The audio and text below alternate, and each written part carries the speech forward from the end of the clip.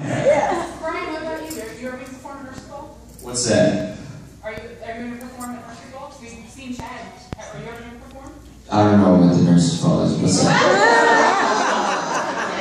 no, you know, funny enough, uh, actually last year Frank pulled me into his office and I thought I was in trouble because I had been many times. But uh, he was actually like, hey man, he's like, uh, we're putting you in the nurse's no, no, no, no. And, and he was like, yeah, no, you gotta do it. Mom wants you to do it. I was like, ah, all right. And then uh, I told, I told, actually, funny enough, Chad came up to me the next day. He's like, hey, bro. He's like, did you hear that? You're doing it this year, and I'm not. And I was like, oh man, awesome. Funny enough, two days later, two days later, Frank calls me back up to his office. He's like, yeah, we took you out. We put Chad in.